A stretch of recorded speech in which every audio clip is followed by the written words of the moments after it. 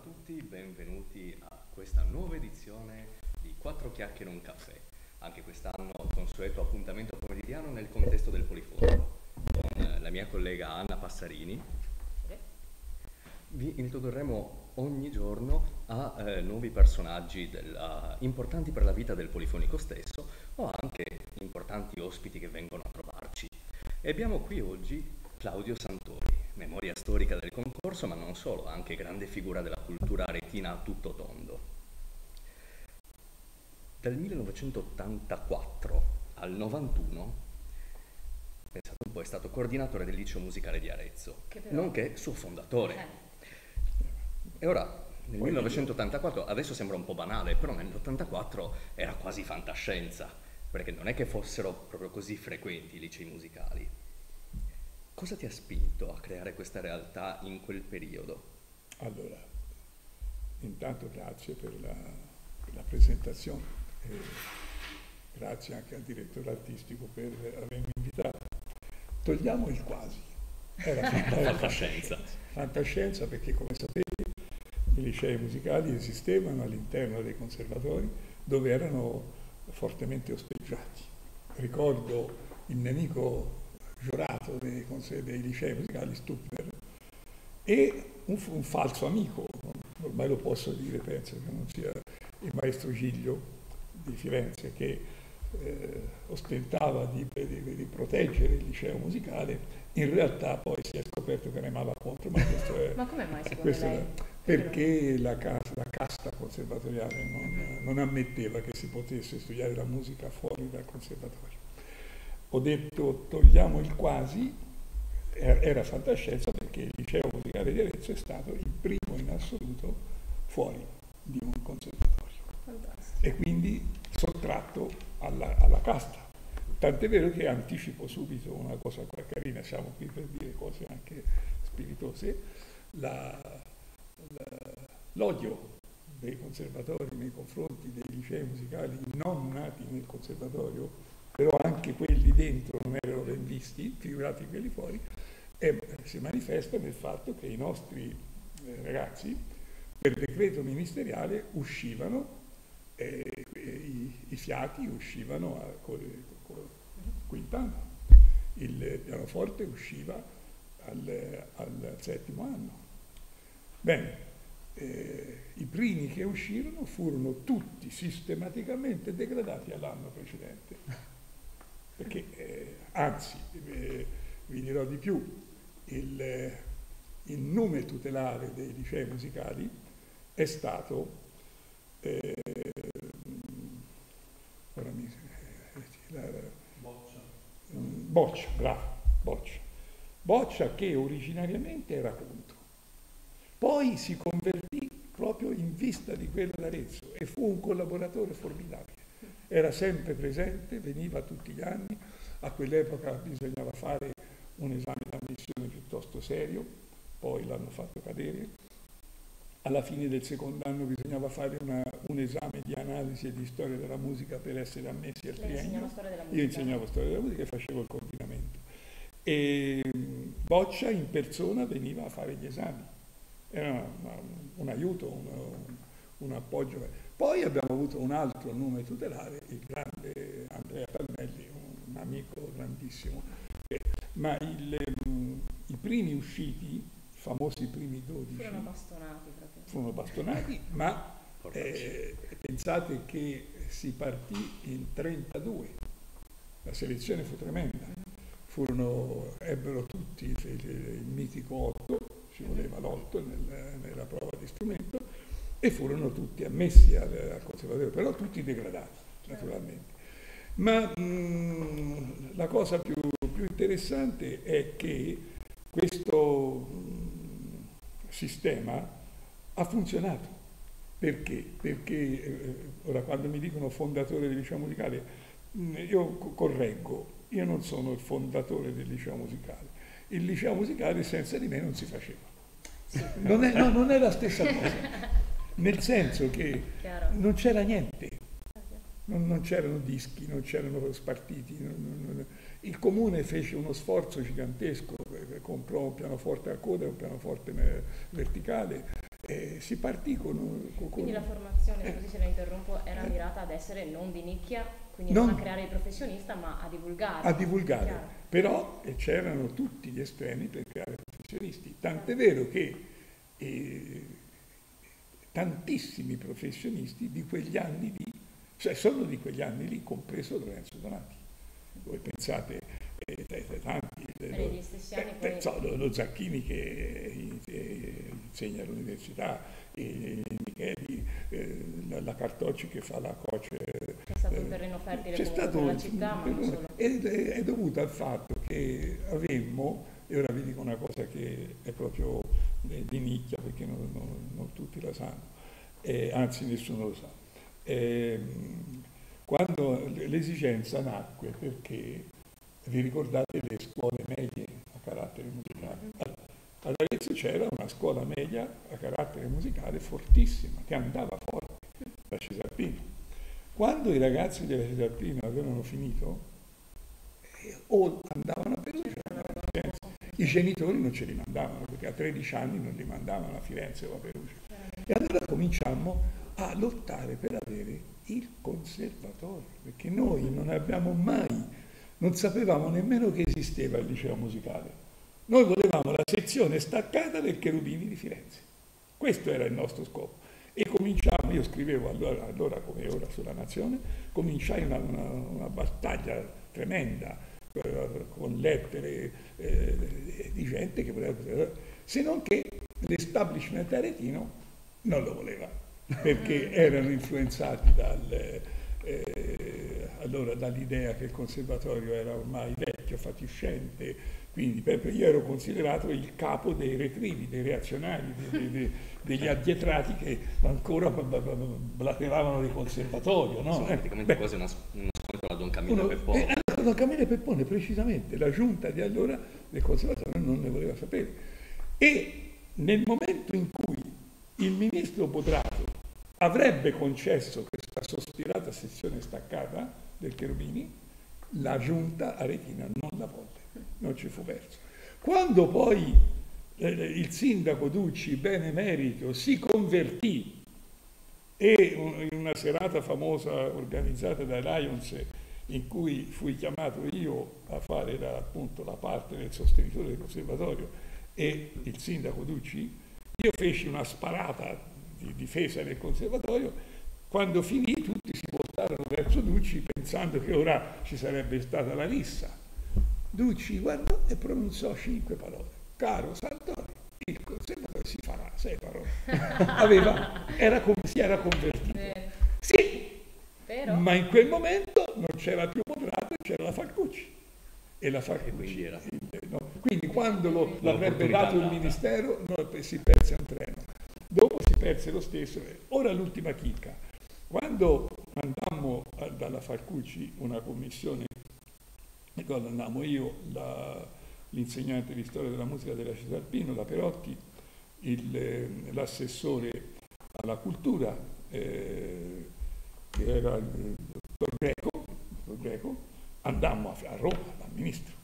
Greco si portò dietro un magnifico Petrarca rilegato in pelle che era stato fatto dal comune per regalarlo alla ministra.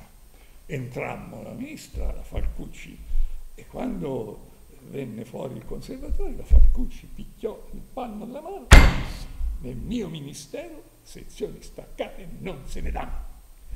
Il dottor Greco s'azzardò a dire, ma veramente eh, a Como è stata data la sezione staccata del Verdi?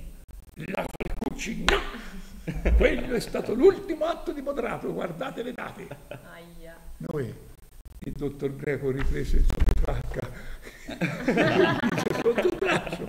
Eravamo tutti mortificati. La Falcucci allargò un sorriso e fece, vi darò il liceo musicale, se lo volete. Sì, non sapevamo cosa fosse, però... non ce ne frega ma niente, però non lo dava. Ecco, ma il ecco. Petrarca poi se l'è preso oppure oh, no, la storia del Petrarca nasce come terza scelta, questo non lo sa nessuno.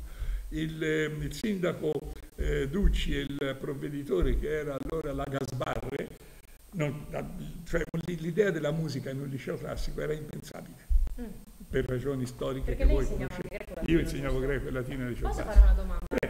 Se interrompo.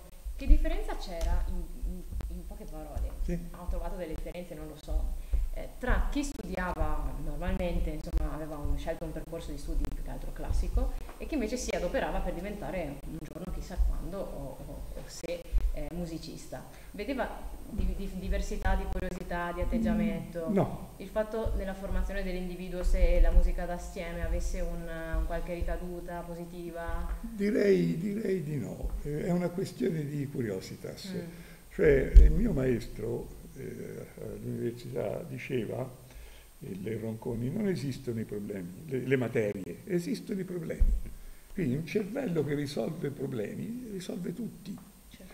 Io ricordo un collega che eh, è stato ed è un grosso musicologo, Mioli, conoscete Piero Mioli? Sì, sì. Eh, eravamo, abbiamo studiato insieme e abbiamo avuto la stessa, la stessa esperienza, la stessa curiosità. Non, non, è che ci sia stata una, poi infatti lui eh, invece di mettersi a, a, insegnare il greco e il latino si mise a insegnare la storia della musica e ovviamente è rimasta una, anche per, me è rimasta una, una passione secondaria, non, non, è diventata mai eh, una professione, ma è una cosa primaria. Io direi che se c'è la curiosità, purtroppo in Italia, qui il discorso si farebbe molto complesso, eh, si vive ancora in pieno in un'atmosfera sostanzialmente crociata cioè con tutto il rispetto per Croce, ma eh, di rifiuto della musica. La musica ancora, 2019 in Italia, signori miei, non è, non è considerata cultura. Ancora la, la, la, la, recensione della passione secondo Matteo si fa nella pagina degli spettacoli, sì, sì. Eh, accanto alla recensione del, del film, insomma, non, non, non, è considerata cultura. il travaglio appena appena si comincia a intravedere il, il, che il travaglio del musicista, del compositore è, è, è uguale a, a, quello del, del, del pittore o del, del, poeta, ma ehm, eh, il fatto che Croce rifiutasse sostanzialmente la musica come cultura ha influenzato fortemente nella scuola sui miei, quando io insegnavo al liceo, al liceo classico, dei miei colleghi, eh, ce ne saranno stati altri due concepivano la musica come cultura, altri due o tre. La, la, la maggior parte dei professori di lettere non, ignorano che esiste Tito Palestrino, non, non, non mm-hmm. gliene frega niente. Beh, ma anche il fatto che il conservatorio ancora tutt'oggi abbia un'alta dignità rispetto al corrispettivo delle faculty of music, Bravo. magari nelle eh, università anglosassoni, la dice lunga. Ma questo è un altro capitolo che non apriremo eh, adesso perché ecco, no, Fatemi finire però brevissimamente quel discorso del liceo classico, perché il classico era diciamo, il punto focale della cultura eh, umanistica, certo. quindi la musica proprio esclusa. Voi dovete capire che eh, perché c'è la storia dell'arte nel liceo classico, non c'è la storia della musica. Le mani. Le mani. La musica senza strimpellare uno strumento non si fa. Allora il Gentile di fronte all'ipotesi che il liceo classico fosse profanato da una professoressa che entrasse in classe con la fisarmonica sul groppone, certo. orrore, capisci? Mentre, la, infatti, la, per legge, chi è che insegna storia dell'arte? Al liceo classico. Uh-huh. Attenzione, eh, chi non è nella scuola non ci fa caso a queste cose. E al liceo classico l'insegnante di storia dell'arte deve essere un professore laureato in lettere o in filosofia con l'abilitazione alla storia dell'arte. Nel liceo scientifico e, e, Gentile ammise, l'ha inventato lui il liceo scientifico, io ero preside del liceo scientifico, ammise che ci poteva essere il disegno. Per cui l'insegnante di storia dell'arte era anche maestro d'arte. Al liceo classico no, perché non era concepibile che l'insegnante di storia dell'arte avesse toccato un pennello. Doveva essere solo un critico. Doveva essere una cosa... De... E, e, la musica quindi non, non Però poteva, la musica sta nelle lettere, cioè eh, sì, la, la, lettura del, della, anticamente, anticamente. Eh, noi, la formazione di un uomo medievale o rinascimentale eh, certo, c'era, per... c'erano le, le, le, arti del trivio e quelle del quadrivio e vi ricorderete che non, non si poteva conoscerne una in meno, eh? O tutte o nessuna. Se tu non avevi tutte e sette le arti, quindi compreso l'astronomia e la, e la geometria, tu non, non, potevi definirti una persona. E adesso una domanda a bruciapelo. Eh. Chi dei due ha studiato lettere antiche? Boh, lui. Eh sì, vero, giusto, giusto. Lui. Sì, sì. Eh, quando, quando ero militare avevo un colonnello che mi diceva eh, quando io lavoravo in un ufficio trasporti, quando arrivava un, ufficiale, un sottotenente nuovo, diceva non mi dire chi è, io eh, ci parlo 5 minuti e poi ti dico che studia fatto, ci chiappava sempre. Eh, comunque, quindi eh, per finire, perché sennò diventa troppo lunga la cosa, eh, dopo si va su, su, su, sugli sui massimi sistemi. Però due domande le toccano certo, ancora. Certo, certo. il liceo classico, quindi, per questi motivi, era la scuola impensabile. Infatti dove andarono il sindaco Ducci e la provveditora Gasbarre? Andarono alle magistrali. dove incapparono in un preside, non dico il nome perché ad Arezzo è famosissimo, il quale li cacciò in malo modo dicendo per carità la musica, ce n'ho anche troppa, se figurati, le, le, sapete cosa sono le lezioni di storia della musica nelle magistrali, lui per lui erano anche troppe. Allora andarono allo scientifico, dove trovarono un altro preside che li cacciò in malo modo. Ed è A classico c'era un preside che ancora è famoso, Don Martini. Don Martini era un prete, il prete meno prete che abbia mai conosciuto come, come, come spirito, e era un musicista appassionato. ancora in seminario si studiava la si musica. Si studiava la musica, lui leggeva il gregoriano, sapeva leggere il gregoriano, ascoltava la musica, gli prestavo i dischi. E, e lui mi chiamò e mi disse guarda questi signori vogliono fare il liceo musicale, se ci stai si fa. Ah certo che ci sto. Firmai per cinque anni, poi ci sono stato nove in, in realtà. Ecco, ecco come era. Quindi il liceo classico fu una, una fortuna poi. E ora la nota amara, dolorosa, ma dolorosa parecchio, perché naturalmente essendo nato nel liceo classico, quando a tavolino facemmo i programmi, la prima materia che obbligammo è il latino.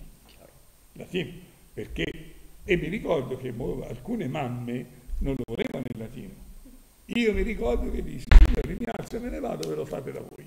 Senza latino non si fa il liceo musicale. Qual è la cosa dolorosa? Sono riusciti a toglierlo finalmente. Eh, Peccato perché il latino rimane la lingua della musica in realtà. In questi ultimi anni, il, eh, quando insomma i, i, i due terzi della polifonia che contano il latino e uno deve cantare senza avere la più pallida idea di quello che canta, almeno, almeno un'idea. Ecco la storia del latino. E quindi così nacque il liceo. causa sempre tragici problemi. Eh, eh, so, però è, però è, fondamentale, ricordatevi che Bach eh, insegnava, insegnava, a suon di capaccioni perché come sapete aveva un carattere molto irascibile e ogni volta che sbagliavano un accusativo è di brutto. E invece hai accennato al fatto che tu sei critico musicale per la nazione da più di un trentennio. Eh sì, 40 anni. Ecco, più di un trentennio.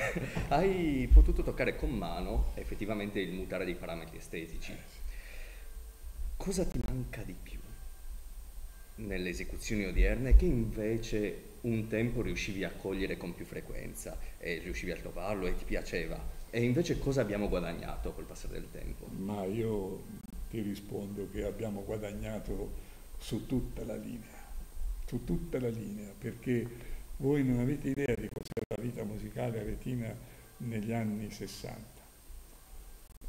quindi 50 anni fa. C'era un'associazione, Benemerita, gli amici della musica, e questa associazione la domenica faceva un concerto. Opera tuttora, vero? No, questo, questo, è un argomento ah. che se ti sente Alfredo Grandini si mette a piangere. Eh, perché, eh. No, no, no, perché purtroppo sì, eh, l'Amici della Musica è stata un'associazione gloriosa eh, che ha fatto tanto per Arezzo, ha, ha svecchiato Arezzo, Inve- a parte l'invenzione del, del concorso polifonico che però era negli anni della fondazione del liceo, sì. eh? negli anni 80. No, no, no, no, no prima, prima, siamo nei primi 50, 51, ah. 52. Con gli anni c'è stata l'invenzione del Gran Premio Europeo sì. nell'89. Ecco, dell'89. No, qui, qui, si rimonta a 30 anni prima. gli Amici della Musica è una città dove mh, non, nessuno andava più in là della cavatina del Barbiere di Siviglia, portarono gli amici della musica la musica da camera, che non, non, eh, se, se n'era, c'era stata, negli anni 30 c'è stato un grande musicista un aretino, un violinista che si chiamava Bruto Tignani, era un, un grande musicista, veramente stato un grande violinista, poi si era dato alla didattica, era direttore di una scuoletta di musica che c'era qui ad Arezzo e lui ha portato la musica da camera, ha portato ad Arezzo le sonate di Beethoven, ha portato ad Arezzo i quartetti di Mozart e di Haydn mm, con pubblici di 15-20 persone, che però, eh, certo. dice Dante, eh, poca favilla, gran fiamma seconda, tu butta, butta, una favilla, poi si incendia la foresta. Allora, per rispondere bene alla tua domanda, eh, c'erano questi amici della musica che avevano operato questo svecchiamento, ma ti facevano il concertino settimanale,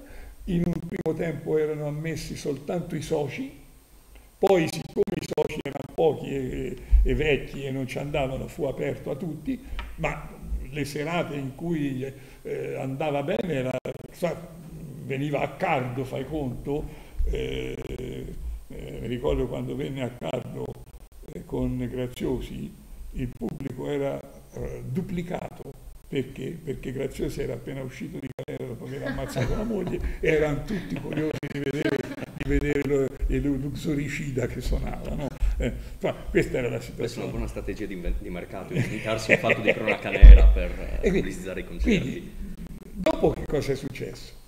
Gli amici della musica hanno messo la poca favilla e poi è nata la Coradini, eh, il gruppo Coradini con un, eh, un, Fosco Corti che è indimenticabile, quello che non ha fatto il Corti con le Coradini, a parte che ha appena fondato vinse il Polifonico. Anzi, vinse il Polifonico prima ancora di essere ufficialmente costituito. Era, era ancora un gruppo, la continuità avvenne nell'ottobre successivo, vinse il Polifonico. Poi c'era un altro coro, la, la Guido Monaco, quindi eh, la vita musicale col, col Corti, devo dire, soprattutto ha avuto una, una, una grossa spinta. Poi, eh, poi, è venuto il Bob Cordis eh, e le cose sono andate a, a livello mondiale, direi. Poi eh, il, il, cioè, cioè, ci sono i, i concerti eh, del, eh, della, della fondazione la fondazione che poi conoscete la storia si è trasformata da, in, ora è una, praticamente la, il, l'ufficio cultura del comune portato fuori dal comune con tutto nostro, uno statuto particolare. Eh, ora di musica oserei dire ce n'è anche troppa. Diciamo, non diciamo ad alta voce. Non diciamo ad alta voce, no, no ma eh, lo dico scherzando, non sarà mai troppa la musica, però se voi pensate in questi... So, quest'anno da, da gennaio a giugno, il primo semestre di quest'anno, i concerti della Fondazione, i concerti della Vascotis, i concerti della Coradini, i, dei concerti anche al circolo artistico, perché anche il circolo artistico fa concerti. E, e, e poi quell'associazione, eh, come si chiama quella del Macri? Ars Nova, e noi abbiamo avuto eh, di nuovo a Cardo eh, abbiamo avuto Bollani, eh, abbiamo avuto un, un, sacco di musica, quindi io non rimpiango niente. Pensate, eh, eh, questa è una cosa veramente curiosa, le, i concertini domenicali degli amici della musica avvenivano nella saletta dell'Accademia Petrarca in via dell'Orto, mm, capienza 80 posti, di solito c'erano 15 o 20 persone. Sapete come facevano a riempire la sala? Ci portavano le ragazzine del Conservatorio Santa Caterina che venivano intruppate, tutte uguali, con quei cappottini grigio-verdi, e, stavano a sorbirsi la musica, perché capite, per loro era una tragedia. Dover subire la sciaccona di Brahms o, o, o la 111 era una tragedia per loro, stavano lì come la forca a tempo. questa, era, questa era, la situazione. Adesso se, se, viene, se, viene, a Cardo si riempie la chiesa, si riempie il teatro e poi... Quindi è cambiata la sensibilità. È cambiata anche la sensibilità, grazie questo al liceo musicale. Mm-hmm. Anche se mi devi spiegare, Lorenzo, se mi posso permettere una cosa, come mai ai concerti dei grandi pianisti, De Rosa per esempio, non, non ho visto un allievo del liceo musicale. Al concerto di Accardo non ho visto un allievo del liceo musicale. Questa è una, è una curiosità che eh, io ce, ce l'avrei la risposta, ma neanche con la pistola alla tempia ve la dico. Eh, oh, ciao! Ora forse, sì, sì, ho detto, capire, uno, uno o due di fronte a una scuola con 130 alunni, dovrebbero essere tutti 130 lì a sentire a Cardo, dovrebbero essere tutti e 100 a sentire De Rosa, perché non ci sono? Ma lasciamo perdere. Quindi in realtà per documentare, per anche amplificare e approfondire tutto questo eh, si è creata la rivista Polifonie. La rivista Polifonie, questa è una, una, una bella cosa. La, la, rivista è stata fondata da Luisi, eh, anche sia la rivista che il Polifonico a Luisi debbono moltissimo. E, mh, la rivista aveva un assetto eh, di livello, la famosa fascia A, quindi chi scrive nella rivista Polifonie eh, è valido per i concorsi universitari, eccetera. Poi, quando Luisi è andato via, la rivista lui l'ha chiusa praticamente, l'ha chiusa. Ehm, eh, Pedini eh, la volle riaprire e mi affidò la direzione. E io eh, mi sono barcamenato alla meglio, eh, perché capite che eh, avere articoli di alta caratura senza poter pagare nessuno, e, insomma, io ti dico, sì, tu l'hai fatto l'articolo, sì. quanto ti hanno dato? è, è, difficile andare da un professore di livello internazionale e dire guarda io ho una rivista, la voglio mantenere su un certo livello, mi fai l'articolo? Sì, eh, eh, quanto mi dai? Eh, beh, io sono riuscito a fare cinque, cinque numeri. Ora che è successo? La, la fondazione intende proseguire, oh. però intende proseguire mantenendo la fascia A. E abbiamo già provveduto eh, perché abbiamo già costituito un, un, comitato scientifico di livello mondiale. Ci sono eh, sette o otto professori che provengono dalle, c'è il nostro Abri, eh, ci sono professori che vengono da, eh, ho, ho, visto qui che sono stati, sono stati citati, eh, abbiamo, abbiamo di, questi, di, questi, qui, abbiamo Ruini, Ruini Mengozzi, che l'ho conosciuto l'altro giorno, l'ho portato a vedere il, il Pionta, i luoghi di Guido Monaco, era estasiato c'era mai stato, loro eh, non ce l'hanno, la, la, cripta di San Donato nel, nel, nel, Wyoming o nel Massachusetts non c'è. Poi abbiamo Abri, abbiamo di, di Benedetto, eh, quindi, insomma, quindi la, la, rivista ripartirà con il mantenimento della fascia A. E questo è, e già l'anno scorso ci abbiamo messo anche i testi del polifonico perché la nostra ambizione è che il corista si presenti a cantare con la nostra rivista e allora abbiamo due formati questo formato qui per la rivista eh, con articoli culturali e il formato grande quando ci pubblichiamo gli, gli, i, i, testi.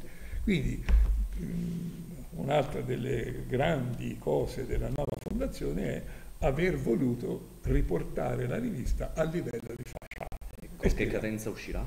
Semestrale. Okay. Quindi due, due, due fascicoli all'anno. Ultima cosa. Vi faccio una citazione, le leggo. Sì. Lessi Croce L'estetica, dove dice che tutti gli italiani fino a 18 anni possono essere tutti poeti. Mm. Dopo i 18 chi continua a scrivere poesie o è un poeta vero o è un cretino. Io, poeta vero, non lo sono, cretino nemmeno. Ho scelto la via di mezzo, cantante. Fabrizio De André che afferma questo. Oggi abbiamo una giornata un po' dedicata a lui. Sì. Abbiamo iniziato col buongiorno sulla buona novella e la, la sera con, sarà conclusa con il concerto. Quindi, oggi la giornata è dedicata al poeta genovese degli ultimi. Le piace di André? Certo. Cosa le piace di più? Ma mm, tutto, tutto. Io sono, sono un... Eh, ho, ho, ho, tutti, sono vecchio purtroppo. Possiedo, fortuna, altrimenti eh, non sapremo molte eh, cose. Possiedo i dischi originali. Wow. Eh, oggi ci sono le ristampe, ma io, ho, io ho, ho tre o quattro... Le prime edizioni. La, ho tre o quattro prime edizioni, sì. Io possiedo anche l'originale, crepate di rabbia, l'originale del disco con i Beatles che attraversano le strisce. Wow, eh, quello vero, non la ristampa, non la ristampa. quello originale. E invece un'ultima domanda un po' personale, così. Sappiamo che sei Cavaliere Ufficiale della Repubblica Italiana e nel 2008 sì. Sarkozy invece sì. ti ha creato Cavaliere dell'Ordine del Palme Academique. Sì, nel ricevere questi riconoscimenti, soprattutto eh, dato che non sono così scontati eh, per una vita spesa all'insegna della cultura, come ti sei sentito? Allora, cosa hai provato? Per il Cavalierato della Repubblica Italiana, indifferenza perché come sapete... E forse era il meno scontato. Sì, ma, ma uh, un, uh, un sigaro e, e un titolo un cavalierato non si, non si nega da nessuno, no? la famosa frase, eh, quindi mi fa piacere, ma insomma... No, la, le palme accademiche invece è una cosa, perché i francesi sono restii, molto restii a darlo all'estero, agli italiani in modo particolare. Certo. Però eh, la, quando ci fu il, il bicentenario di Berlioz, eh, Arezzo è stata l'unica città d'Europa che ha celebrato il bicentenario con una edizione unica del, della Fantastic.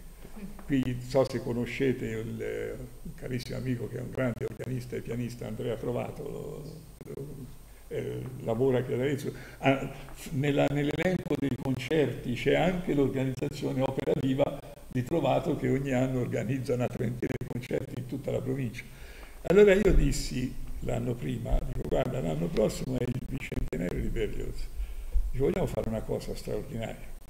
Non esiste la Fantastic per organo, esiste per pianoforte in una cattiva traduzione di Franz Liszt, che non la fa mai nessuno perché non, non funziona. La fai la, la, la, versione per organo. Trovato capì che era un suggerimento valido. Ha fatto la trascrizione, l'ha anche pubblicata, dedicata a me fra l'altro, quindi mi fa piacere. E è pure un lavoro impegnativo. È un lavoro altamente impegnativo. Es- prima esecuzione assoluta ad Arezzo, o non c'era per caso ad Arezzo un attaché della, del, dell'ambasciata di, di Firenze? Sì. Eh, rimase talmente colpito che l'anno dopo venne fuori le palme accademiche. Ah. E con questo dobbiamo concludere purtroppo. Eh, Quindi la ringraziamo tantissimo. No, ringrazio io voi. Enrico Correggia che mi dà una mano in questo e ci vediamo a quattro chiacchiere e un eh, caffè per domani. Che è, come sapete, uno degli autori del prossimo, del numero, fra l'altro ce la facciamo, allora, vero? Eh, ce la facciamo, vero? Perché ha partecipato al convegno e abbiamo deciso di dedicare questo numero che è l'ultimo numero della mia gestione, quindi che mantiene la fascia A per inerzia, perché se se ne accorgevano ce la toglievano subito.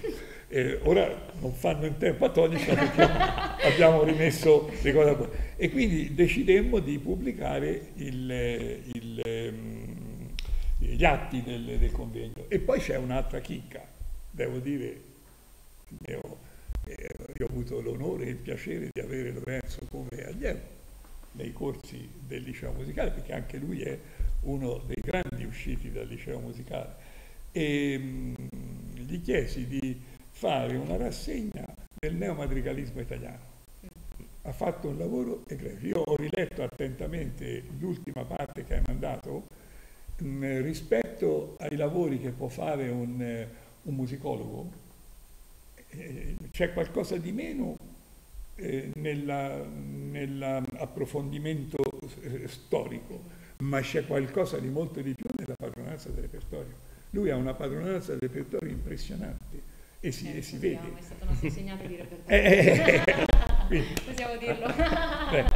e c'è questo, questo articolo che, vi, che leggerete con piacere su questi aspetti interessantissimi del neomarino dove è andato a pescare esempi che sono veramente straordinari. Eh? Bene. Grazie, Grazie. Grazie a voi.